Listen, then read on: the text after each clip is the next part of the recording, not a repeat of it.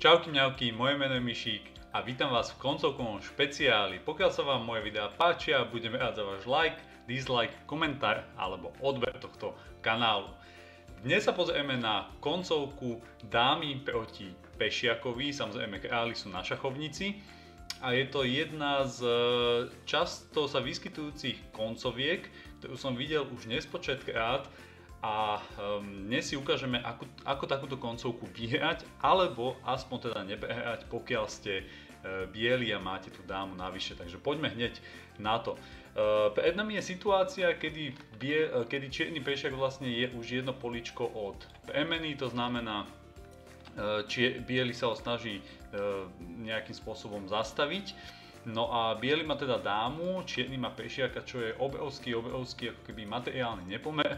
No ale v tomto prípade práve preto, že ten pešiak sa ide už premeniť na dámu, sa tento pomer ako keby e, zmazáva. Napriek tomu biely dokáže vyhrať. E, ja by som ešte povedal na úvod, že v podstate takéto, e, takéto koncovky alebo takýto boj toho čierneho, ktorý je čisto matematicky E, výrazne slabšou, slabšou stranou je možný v zásade iba vtedy, keď e, ten pešiak sa už nachádza naozaj jedno poličko od e, premeny, alebo teda keď postup toho pešiaka podporuje jeho král, teda mu veľmi pomáha, že je pri ňom.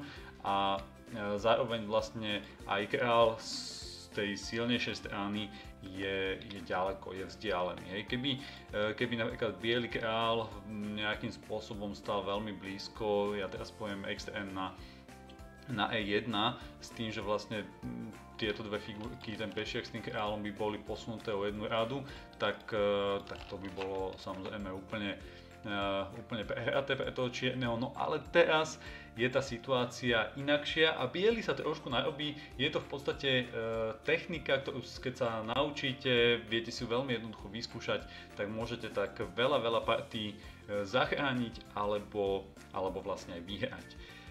Ja by som tu ešte spomenul dôležitú vec, čo tiež častokrát vydávam pri partiách a to či naživo alebo, alebo live, zvlášť keď hráte blicky alebo keď hráči hrajú blicky a povedzme ešte nemajú také že úplné skúsenosti, tak oni majú dámu navyše a nejak tak automaticky si myslia, že túto partiu proste vyhrajú ale ne, nepoznajú povedzme tú techniku toho vyhratia a začnú toho čierneho kráľa jednoducho bez myslu šachovať hore dole.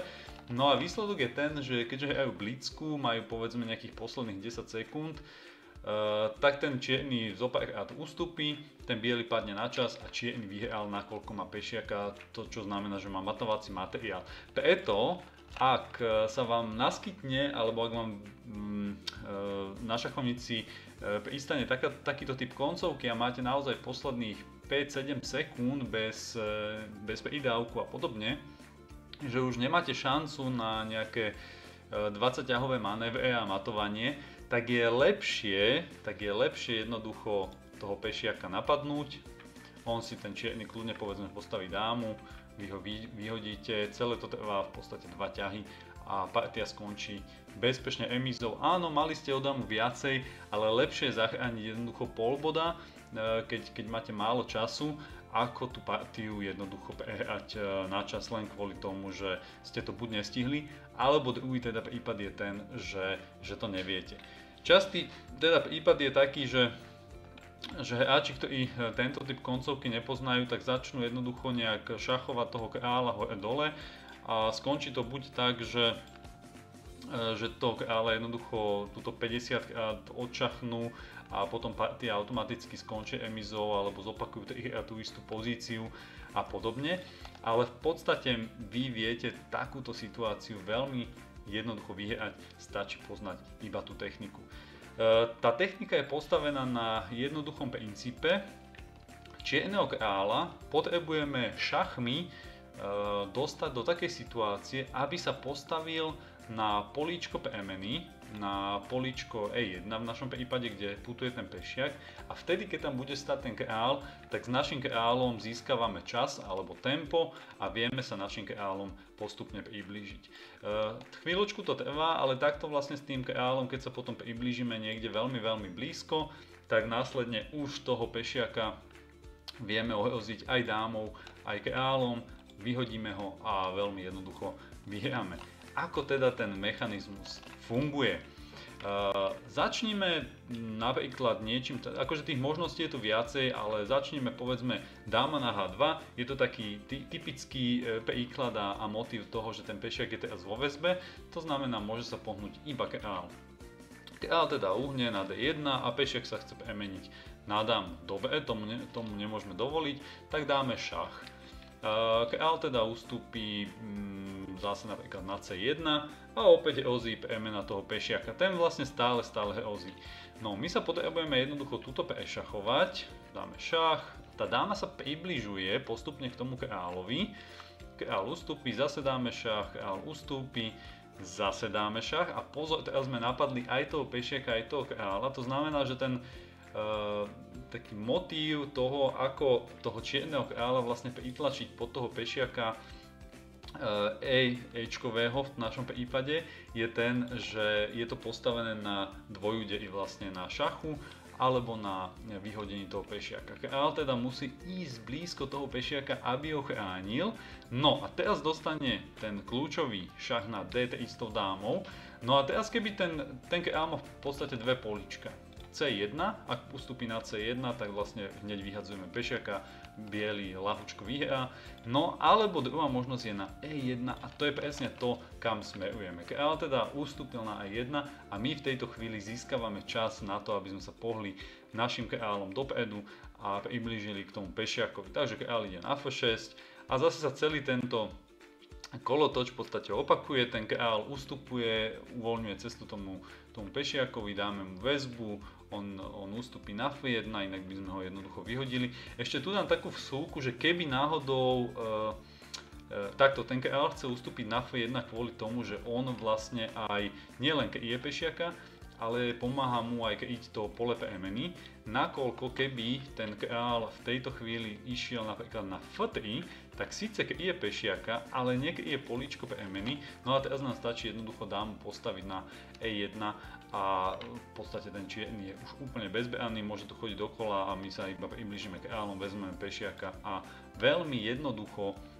vyhráme.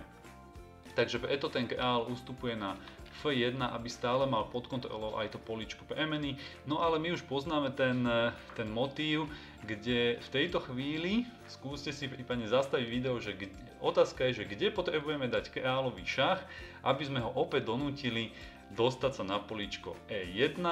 Takže zastavíme video raz, 2, 3. OK. A keď ste keď ste teda uhádli e, alebo našli poličko F3, tak ste našli správne, lebo odtiaľ to vlastne dávame šach a zároveň ohrozujeme toho pešiaka a budeme tam nútiť toho kráľa sa posunúť. Takže toto je naša cieľová stanica. Dáme mu šach, ústupy, dáma E3, kráľ F1 a sme presne v tej pozícii, dáma F3 šach, No a opäť ten kráľ sa musí schovať na E1 a my získavame tempo, približujeme sa kráľom. Ustupuje na D2 a opäť zopakujeme tento celý, celý kolotoč, dáme mu väzbu, ústupy, šach, ústupy, napadneme, pokryje, chce pomôcť tomu pešiakovi šach, opäť ide pod toho pešiaka, zase sa priblížime kráľom a opäť. Teraz je to už jednoduchšie, lebo ten kráľ je v podstate E, teda myslím toho bieleho kráľa je blízko, takže nemusíme to robiť veľké manévre, môžeme dať rovno dáma f3 šach, kráľ ustúpi na e1, no a teraz je to elementárne vyhraté, kráľ ide na d3, je dvakrát napadnutý ten pešiak a v podstate tomu čiernemu hrozí mat, ktorému nemôže zabrániť, pretože má jediné políčko, kam môže teraz ustúpiť, to je d1, vezmeme pešiaka, šach, kráľ ustúpi a dávame šach mat. Uh, takže priatelia, toto je veľmi jednoduchá technika, akým spôsobom eh, v podstate vyhrať takúto, eh, takúto partiu, pokiaľ teda vám nastane niečo podobné, že vy máte dámu a super má pešiaka tesne pred políčkom premeny. Aby som to teda zhrnul, našim cieľom je dostať čierneho kráľa alebo kráľa super a podpešiaka, aby ten sa nemohol hýbať a keď sa nám toto podarí dosiahnuť, tak vtedy sa vlastne našim kráľom približujeme, približujeme sa až dotedy, dokým toho pešiaka nenapadneme aj kráľom, aj s dámou, následne ho vyhodíme a partiu ľahko vyhráme.